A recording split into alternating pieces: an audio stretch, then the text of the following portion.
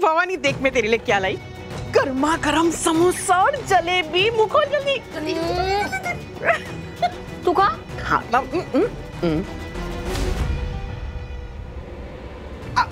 हाँ।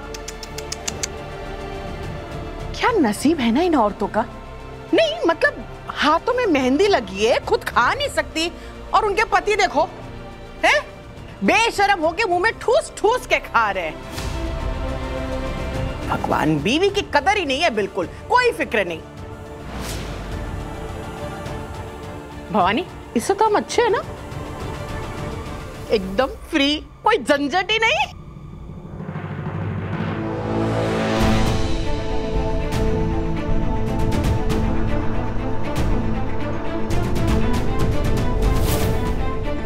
निम्मी भवानी की मेहंदी किसी को तो देखनी चाहिए।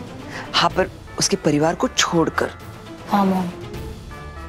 पर ये सब उसकी वो बेटी आने से पहले हो जाना चाहिए। और विराट भाई के भी आने से पहले।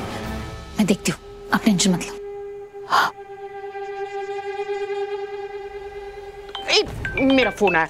ए, इनको खिलाना हाँ जलेबी खाना। मैं आती हाँ। हाँ। अमू? हाँ जहान आंटी वो लॉयर है ना सुमन? उसका एड्रेस बताइए ना मुझे जल्दी। नवकिरण बिल्डिंग। एक एक मिनट एक मिनट। और तुझे क्यों चाहिए उसका एड्रेस किसी के ऊपर केस करना है क्या?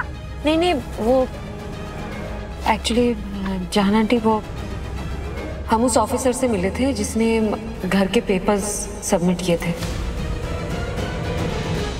और उसने कहा कि वो पेपर सुमन ही लेकर आई थी। और मुझे लगता है सुमन किसी के कहने पे ये सब कर रही है। जो भी है सच का पता बहुत जल्द लग जाएगा। क्या? वो छोटी सुमन शक्ल से कितनी भोली दिखती है। उस छछोंदरी को छोड़ूँगी नहीं मैं। एक बार मेरे हाथ लग जाए ना फिर देख क्या हाल करती हूँ मैं उसका।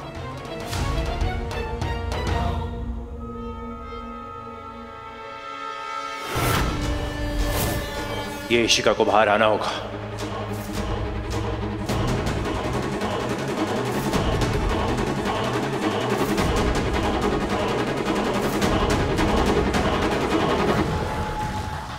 लता आंटी हाँ।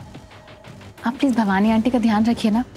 आपको तो पता है ना उनकी फैमिली और हमारी फैमिली के बीच कितनी प्रॉब्लम्स थी। अब हमने उन्हें बुलाया है तो उन्हें ऐसा नहीं लगना चाहिए कि कोई उन पर ध्यान नहीं दे रहा है। तो आप बातें कीजिए ना उनसे। और देखिए मेहंदी भी हो गई है। मेहंदी देखिए उनकी जाके। हाँ हाँ बेटा मैं जाती हूँ। चलो आजा